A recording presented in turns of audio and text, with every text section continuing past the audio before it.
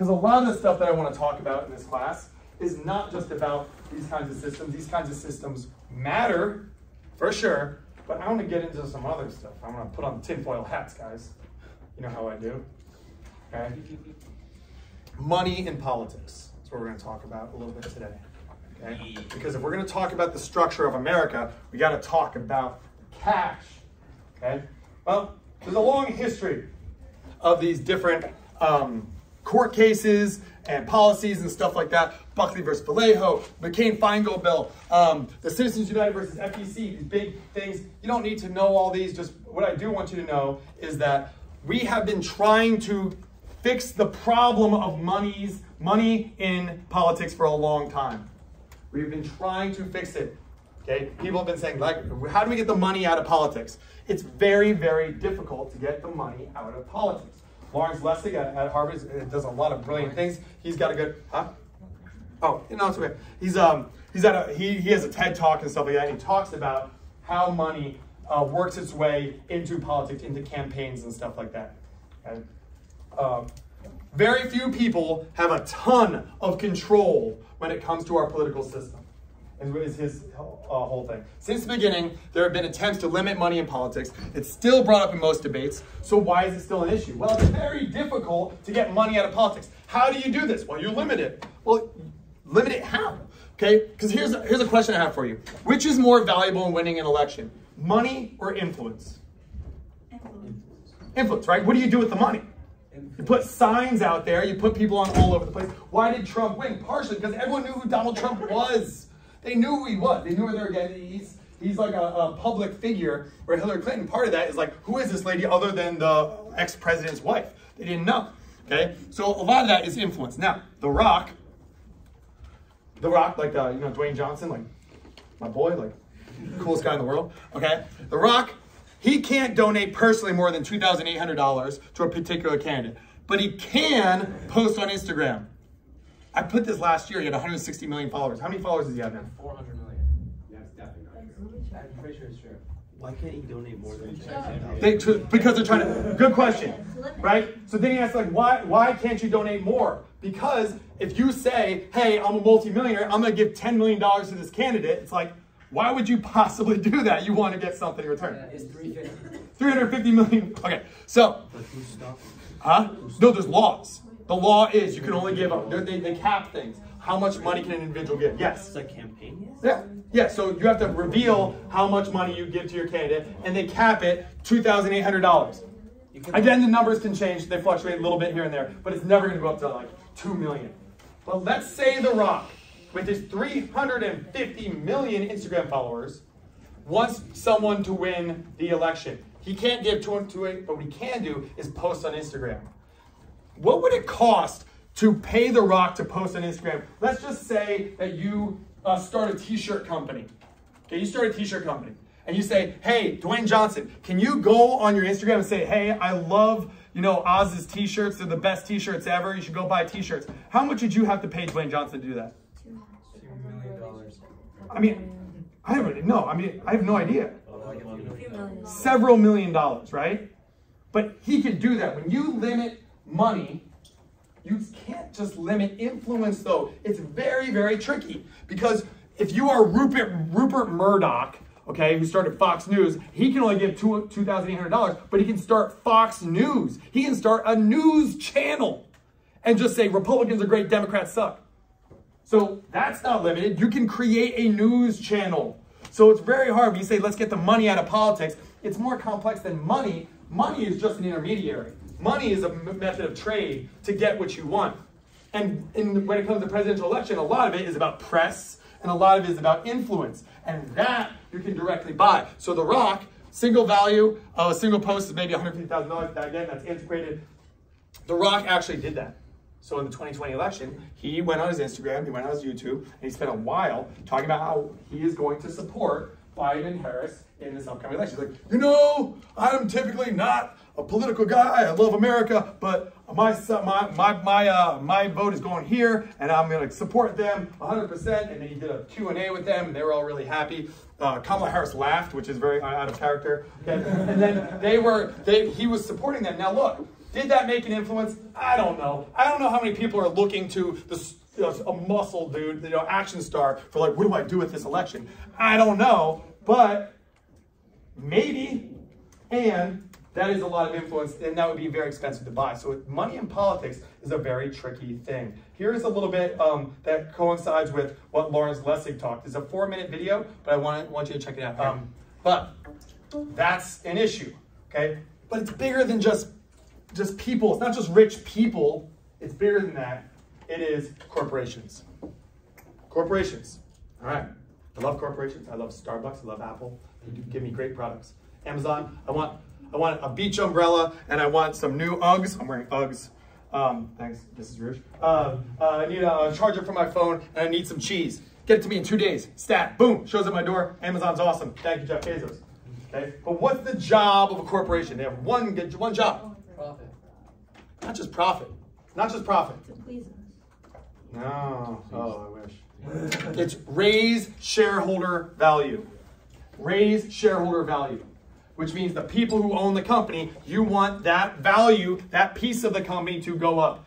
That's it. That's the job of, of corporations. No, no, no, Mr. Reusch. I don't know. I saw, you know, Nike was behind Colin Kaepernick and his social justice efforts.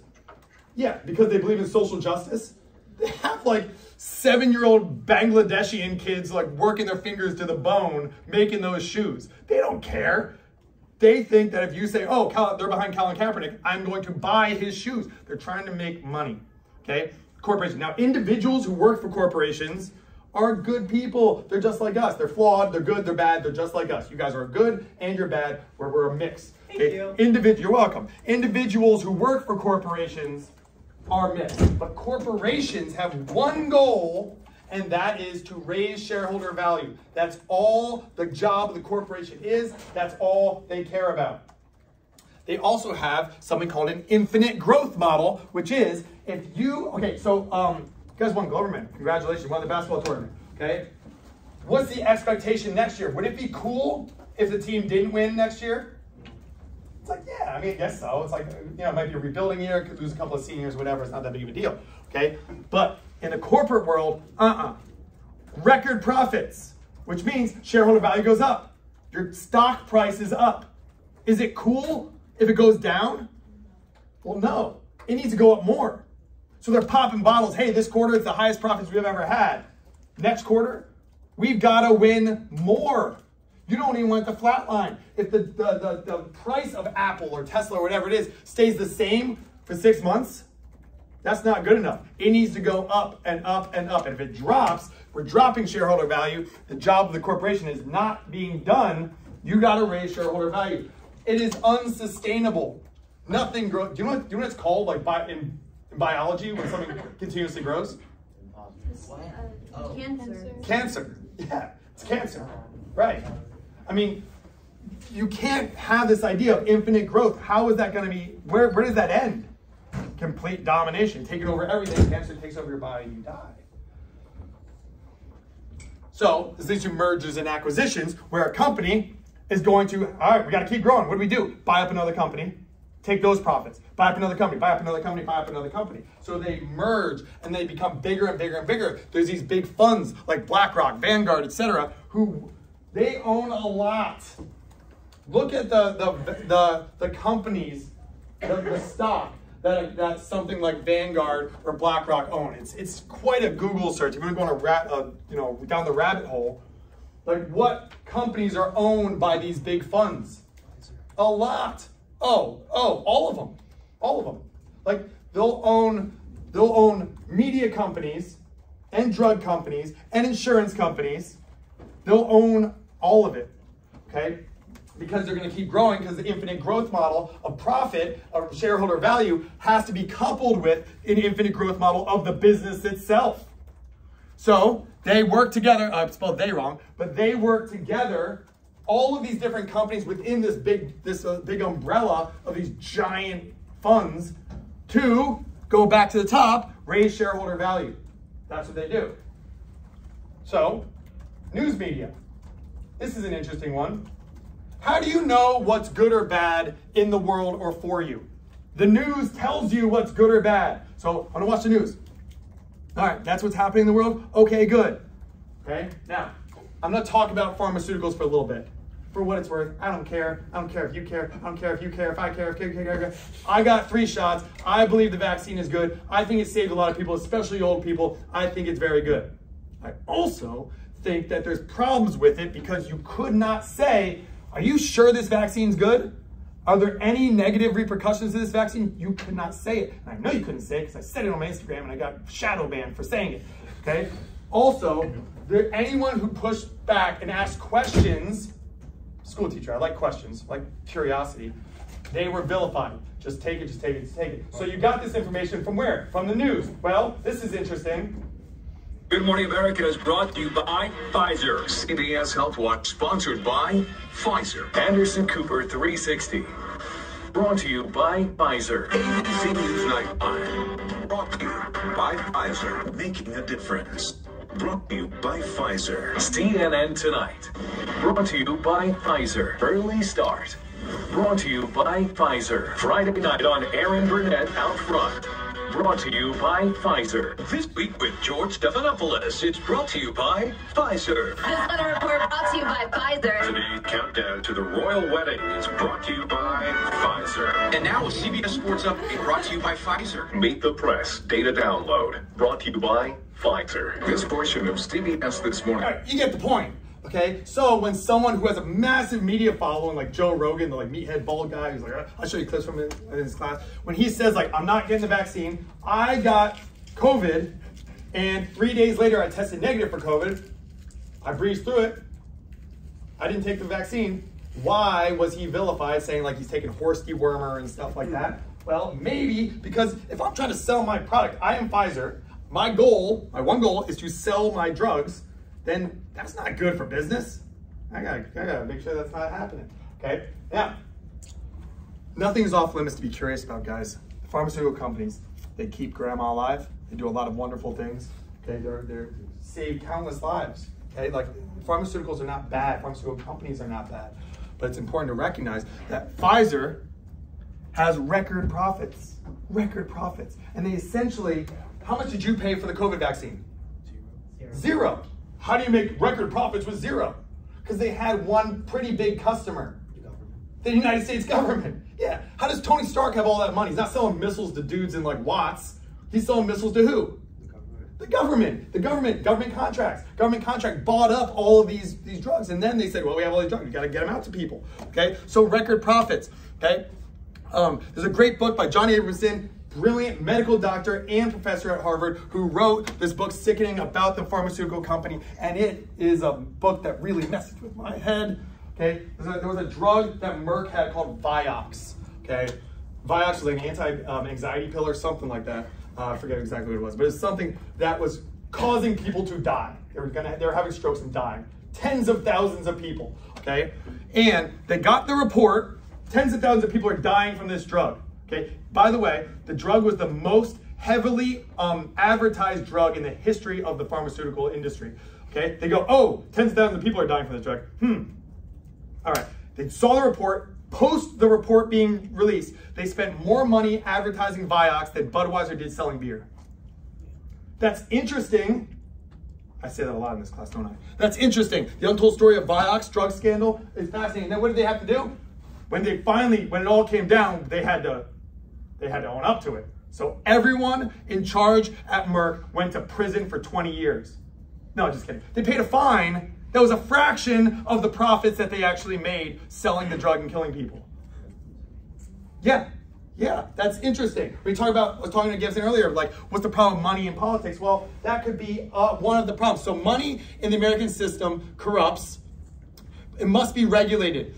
Um, part of what we have government for, I only have a few minutes, but listen, the reason we have government is to protect, we looked at the Constitution, to protect the life, liberty, and property of the citizens. That's the job of government, is to make sure that your rights are not being taken away. Okay? But these companies are literally killing you when they tell you it's going to fix you. That's a problem. Okay? So what is the job of government? Government's supposed to step in and say, hey, you're telling people you're going to fix them and you're killing them? That's not okay. So why did that not happen? Well, going back to the lobbying thing, there are 1,500, 1,500 pharmaceutical rep um, uh, lobbyists in Washington, D.C. There's 535 members of, of the House and the Senate together. That means three full-time lobbyists per uh, uh, policymaker in our government. That's who's getting their influence, okay? There's something called regulatory capture. And what this is, is when the regulatory agencies that are supposed to be watching over us and protecting you and I are captured by the industry. 75% of the funding that goes to the federal drug, the Food and Drug Administration, the FDA, that regulates stuff like drugs and food, 75% of the drug division, their funding comes from the pharmaceutical companies. Pharmaceutical companies say, oh, you're gonna be watching over us? Okay, here, I'm gonna pay for all of your, all of your work. Interesting, right? There's a lot to this, guys. There's a lot. Secretary of Defense Lloyd Austin, he was hired the first black Secretary of Defense. His job, he was a, a military general, Army general, but his job before he was Secretary of Defense was he was on the board of Raytheon. Raytheon makes missiles. Now he's in the job that decides whether or not we use missiles. Janet Yellen. Janet Yellen is the uh, Treasury of the Secretary of the Treasury, Secretary of the Treasury. Okay, the one who regulates like the SEC and stuff like that regulates Wall Street. She made something like seven million dollars speaking at Goldman Sachs and Wall Street investment banks. She's not Dave Chappelle. She's not that interesting. You can't even watch her talk for like 10 minutes without falling asleep. You think I'm boring. Like, she is very, very boring. So why is she getting paid millions of dollars to talk to these, to these Wall Street bankers? Well, she's in charge of regulating them now. Dick Cheney, who was kind of the, the, the, the, the side guy of, uh, of George Bush, worked for Halliburton. He's the CEO of Halliburton. He pushed us to go into Iraq, blow up Iraq, and then they blew everything up. They need to rebuild it. Who got the exclusive contracts to rebuild it? Halliburton. And Halliburton profit goes up. Okay? This is a real problem, guys. I'm telling you and your generation because it absolutely may corrupt. I talked about this before. Okay? But this is what's going on. Okay? Um, you could say, well, that does just because Lloyd Austin used to work for Raytheon doesn't mean he's going to be corrupted by it. Yeah, maybe. Maybe. Maybe. I would say no. I would say that has some sort of influence on you. If you're getting paid millions of dollars for someone, someone to just give me millions of dollars. Hey, Mr. Rich, here, here's brand new keys to a new Lamborghini. You think I'm gonna fail you in class? It's probably not. So, I know we're out of time, um, but I, will say, yeah, question. Are these people like Lloyd Austin that, yeah. are they allowed to hold stock? Nope, no, they have to separate. Until they leave position, now they can come right back. Yeah, so he wasn't, so Cheney wasn't the CEO of Halliburton at the time, but he goes right back. Yeah. So, all right, guys, take all hats off. Thank you.